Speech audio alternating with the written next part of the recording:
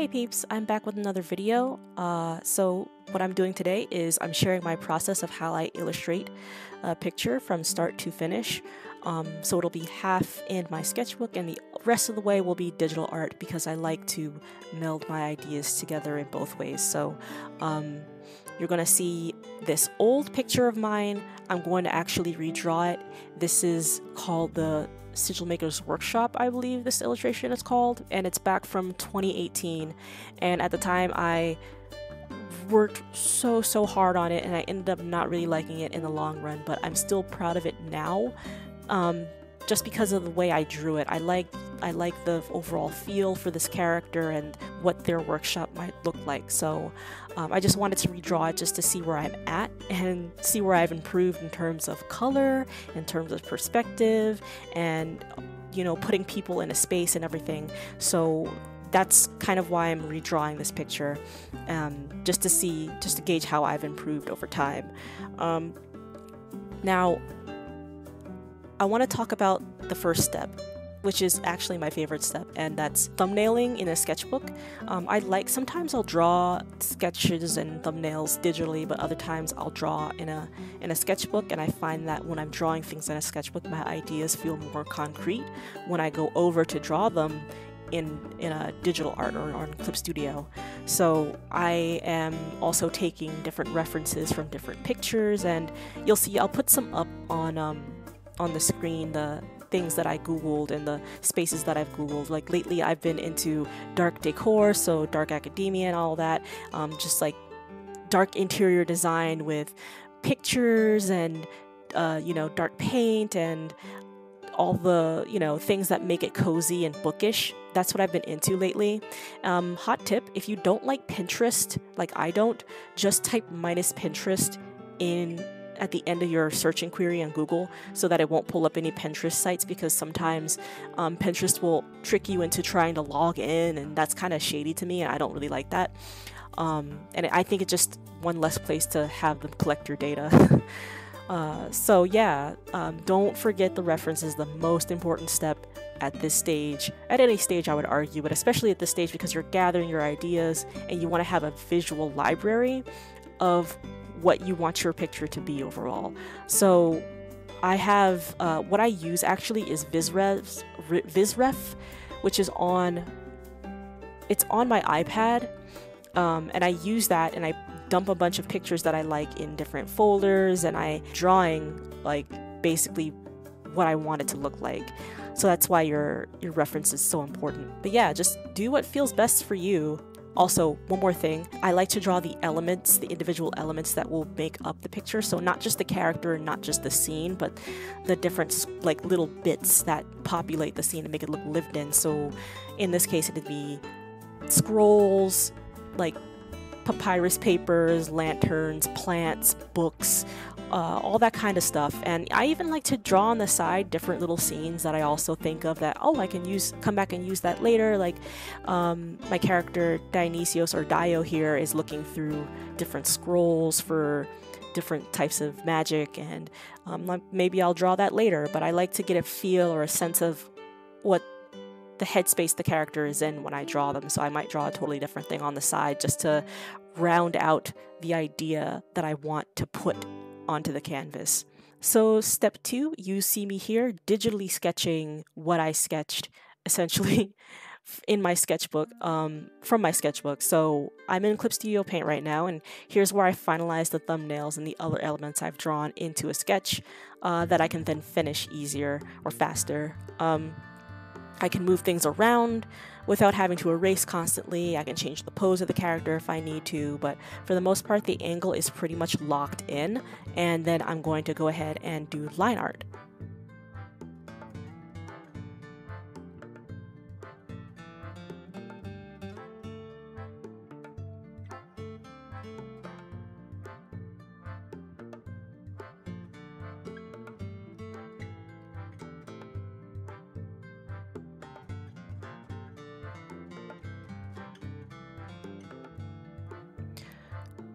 So while you're watching me draw or you're listening to me talk, um, or if you're working along with me, I just wanted to uh, talk about this character that I'm drawing because uh, sometimes I'll draw and then I won't tell you what I'm drawing, so I think it'd be pretty cool if I just told you about this character that I've had for like five years. So his name is Dionysios, um, Dio for short. All his friends call him Dio. You can call him Dio, it's just easier to pronounce. Um, and he is uh, the main character currently from my comic Eleusios. Um, and he's from a city of. Uh, he's from a desert city, an oasis city basically, called Eleusios, and um, he has to his specialty is like sigil magic or making and making items like enchanted items and things like that. And one of the reasons why he's the main character is because he has to go through this ritual um, for his for the local gods of his land uh, because it's a very special ritual that helps protect the city which is actually usually invisible to people just for the protection of the city because um, it's a very valuable, very rare city in the middle of the the Greater Sands is the is a where this city is located. Um, so there's actually an invisibility spell or a mirage spell, if you will, um, that's protecting the city from invaders and like enemies and uh, the elements, even because this particular desert has a lot of dangerous magic around it. So it's very important for their city to be protected, and Dionysios has to be the one to kind of spearhead this ritual and he's not exactly sure if he's going to do it right or if anything's going to be going to go wrong and that's kind of where the story that's kind of the aim of the story so far. Um, if you wanted to read it go ahead. Um, he's also in a lot of other comics that i'll be making um, because where he starts out and where he ends up are two very different places.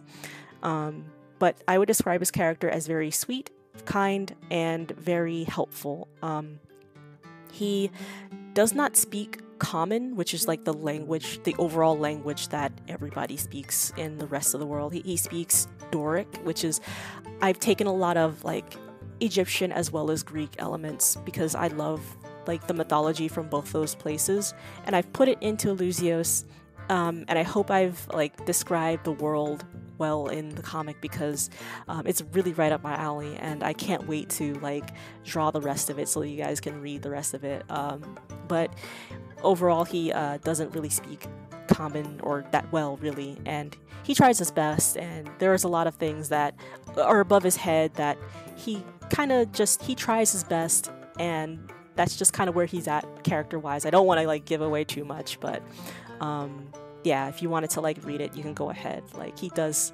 also look a very very odd, so there's a reason for that. Like he's a part of a race that is all, almost exclusive to uh, the Greater Sands. There's no other race like it, so that's why he looks the way he looks, and he has four eyes and everything. But yeah, I just wanted to like briefly touch on that and like just give you an idea of who I'm drawing. Um, yeah. Oh, and it looks like we've uh, slipped into the the line art phase. uh, the line art phase is actually not my favorite part of making illustrations at all. I'm trying to, I'm always experimenting with the technique that I'm doing because one moment I'll want crisp lines and the next I'll want those soft, sketchy, looser lines that kind of blend in with the coloring. And uh, it's kind of a process. um, I don't have much to say about it except that I know that uh, I was streaming this and it really helps. Streaming really helps me because I tend to I, I tend to think about how much I don't like line art and streaming keeps me accountable in a lot of ways and helps the work go by a lot faster and a lot more painlessly.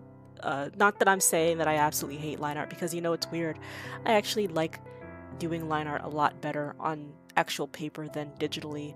I guess I just haven't found that method that I really like yet, or it just keeps changing, where I'm never really satisfied with the kind of lines that I make.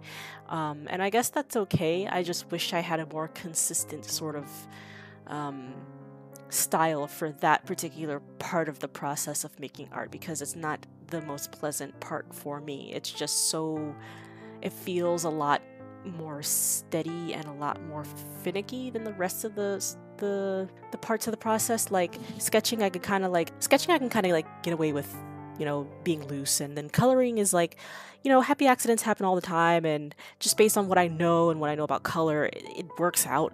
With line art, I feel like I have less room for less margin for error there. I don't know why. Um, I set myself up for like, oh well, you you had this line art and it has to be crisp, or no, make it painterly, or no, make it this, make it that, or don't even draw lines at all. What are you doing? You know. So I'm always um, kind of fighting with my brain on like the best method for line art, and I hope I find it one day because um, this particular illustration has a lot of items in it, and I didn't really.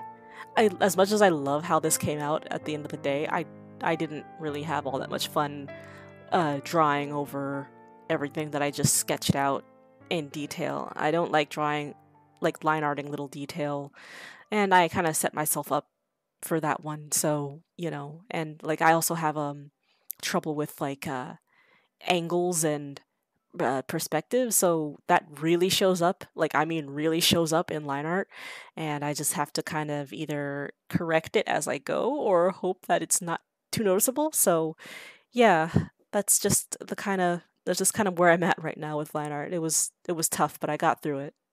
I just wanted to insert here a brief thank you to my patrons on Patreon for supporting me and uh, all my really wacky projects that I make. And um, I just wanted to shout you guys out because I it's been a while since I made a video, and um, an even further while since I've like put your names up on the screen like I say I always wanted to do. So here you guys are. Thank you so much. And I didn't forget it this time. Okay, I'm baking it into the video as we speak. So thank you so so much everyone for supporting me on whether that's like reading or sharing my stuff, sharing my videos, sharing my comics, or just like, you know, commenting. I really, really do appreciate all of that. Um, and let me know in the comments what you think of how this turned out um, and like share your process of how you like to illustrate or you know anything that you might like to share in the comments below because I'd really like to hear like to hear about that. And here we are in the flatting stage. Now, this is not really flats, traditionally speaking. I kind of filled in um, I filled in the scene with a general overall color that I wanted as a backdrop, kind of like how you would um, prep a canvas with a color to set the tone and overall mood of the of the illustration. And I did that with kind of this grayish, purplish type of color, and then um, I went over it in the type of brown that I wanted in the overall room. So uh, you can see me actually getting in the pop of light very early on in this phase and um, where I wanted my lights and my darks to go and um, things like that. And basically where I what basic colors base colors that I wanted to put into the items. Um, the items were actually a lot of fun to color. Coloring is one of my favorite uh, phases in the illustration process. I wish I could just if I could if I can get away with it I'll try to cut out the line art uh, process altogether and just go from sketch to paint, which I'm experimenting with, but it is taking me, it takes me a long time to really get the the shapes and forms down properly so sometimes it takes me a while to get from point A to point B which is why I like to have line art as sort of an anchor but um, yeah you see me like putting down the flats for different things and getting the lighting down rather early. And one of the last things I actually color is Dio um, in this picture. I think what I really wanted to emphasize here in this um, picture is the overall mood and general lighting um, of the room and uh, just those warm tones. And I wanted to make it more cohesive than I previously made this picture, and I wanted it to be more of um, sort of this hazy feeling of being in um, a type of magician's workshop, if you will. And then, you know, Dio is very.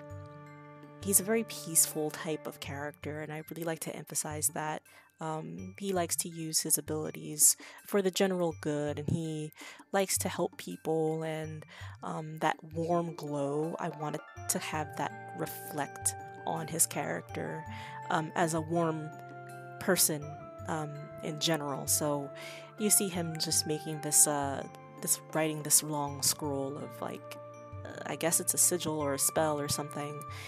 And yeah, I, I just really I really really like how the tone came out in this um, in this picture because I really like playing with um, the translucency of the jars and the the colors of the paper and the scrolls and the papyrus and the the glow of the window and the the shaft of light that comes through and I just like to think it's just nice and hazy and a little warm in that room. So um, I wanted to really like bring that out in this picture and just have it sort of be more of a peaceful picture, a little bit more cohesive, like I said, because the older picture has, while it's very, very colorful, um, I feel as though it there's not enough of uh, cohesion to it that um, really brings the mood into this picture. Now, fun fact I don't know why I kept redoing this picture, but this actually started out on paper um, in watercolor.